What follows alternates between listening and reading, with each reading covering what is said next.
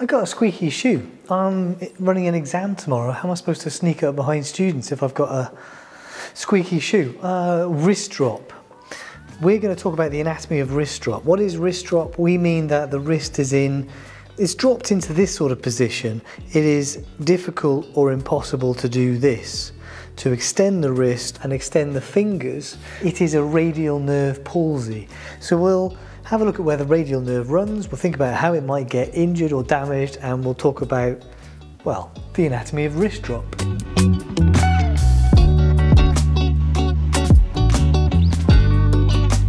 I think I've been thinking of this because I've been dissecting the radial nerve recently and I've dissected from the brachial plexus all the way to the hand. I've done the other bits and bobs as well, but it turned out quite nicely in the hand and all these branches of the radial nerve that we can see here, I found in my prosection.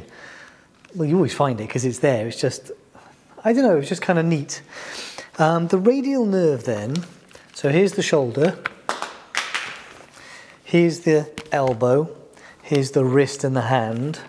The radial nerve uh, from the brachial plexus will dive posteriorly through this gap here and the radial nerve is going to run to the triceps muscle, to the posterior arm.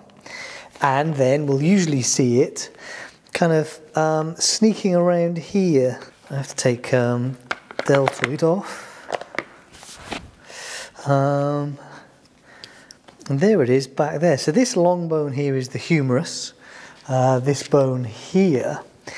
And the radial nerve, being the nerve of the posterior compartment of the arm, it runs very, very closely to the bone, such that what you do is, is you stick your finger in there, uh, like you, you get your finger to follow the radial nerve between the muscles and the bone, and the radial nerve, it does it, it wraps around the shaft of the humerus, the diaphysis of the humerus in this radial spiral groove here. And then it sneaks around to the lateral elbow, kind of, it's a little bit anterior, sneaks across here, and then gives off a couple of branches. Its main job is to be going to the, the muscles of the posterior forearm, these guys. So it innervates these muscles and these muscles, and it innervates the skin here and the skin here, and also the skin in the back of the hand. But there are no muscles in the hand that the radial nerve innervates. Now, this means that a fracture of the humerus, if it occurs midway along the humerus, because the radial nerve is so tightly associated with the humerus, the radial nerve is at risk of injury and is in fact likely to have been injured. So a radial nerve palsy like wrist drop is a common effect of damage to the radial nerve by fracture of the humerus.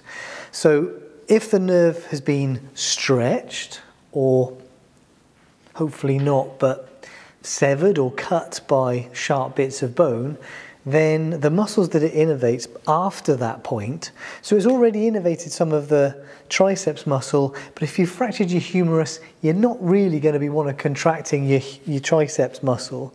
But the muscles here that extend the wrist and extend the fingers will now be unable to do that. They will either be weak or paralyzed because the nerve that innervates them, the radial nerve up here, has been injured. And that's wrist drop. So the wrist is in this position because we have flexors here, flexors of the wrist and flexors of the fingers, extensors here, and muscles have tone, they pull against each other. So if these muscles are now paralyzed, these muscles will win, uh, as it were, and they will pull the, the wrist into a into a flexed position. So that is your classic sign. The next thing you'll do then is you'll test sensation of the skin here. The radial nerve is innervating the skin here. Is there a change in sensation? Is there numbness here? Look, we can see that here. This is what I was talking about. So this is the superficial branch of the radial nerve here. Here's the thumb, here's the index finger. And the super, so the, the radial nerve, as it sneaks around here, it divides and gives off a superficial branch which kind of hides under brachioradialis and runs up here. And its purpose is to run to the back of the hand here, see how it's running to these digits, and carry sensory innervation from the skin back here. So you will test the quality of the sensory innervation of the skin in this region. The, uh, if that's the superficial branch, then the deep branch, becoming the posterior interosseous nerve, that runs deep to these muscles, these posterior compartments of the forearm muscles, these muscles that are responsible, as I said, for wrist extension, finger extension, the muscles that are now paralyzed because the nerve has been injured up here. What else do you need to know? Well, we've also got the thumb here. The thumb is a complicated thing.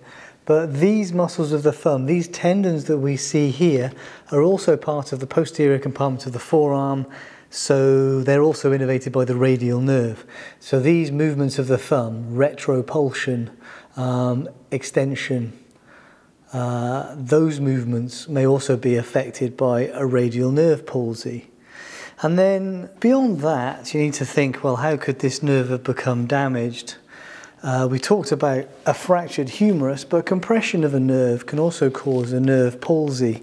And I said that the nerve, it, it runs in there.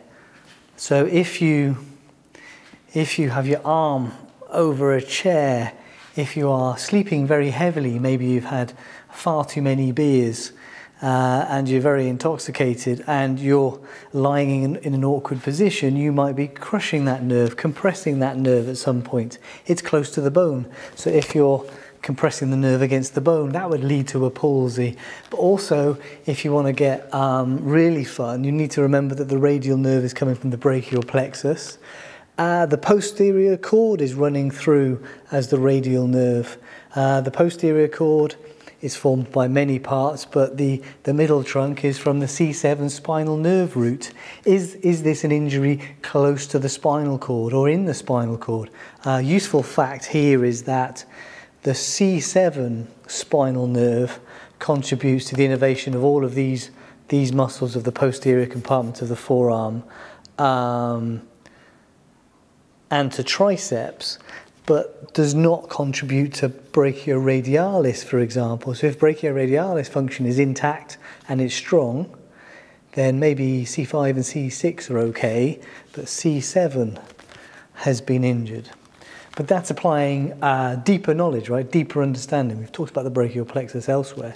And likewise, if you're interested in the dermatome patterns of the upper limb and how those might be affected, go and have a look at that dermatome video of the upper limb, and that'll add to this as well. But that is the anatomy of wrist drop. Wrist drop refers to the wrist and fingers being in a flexed position and it being difficult or impossible to extend the wrist, extend the fingers, and you can examine this by testing those movements against resistance and comparing to the other side. Um, and the radial nerve also innervates the skin here, so you can also test the quality of sensation here and compare to the other side. And it's a radial nerve palsy. The most likely site of injury is where the radial nerve wends its way around the mid diaphysis of the humerus, maybe with a fracture, and because it's running through the axilla here, it's also prone to compression. Maybe if you have old style crutches that go up here, you know, you're hobbling around on crutches if you've got a lower limb injury, or because you've had your arm over something like the back of a chair for a long period of time and that nerve has become compressed. Wrist drop, a radial nerve palsy, the anatomy of, and how you test for it, and other considerations, brachial plexus. Okay, see you next time. You.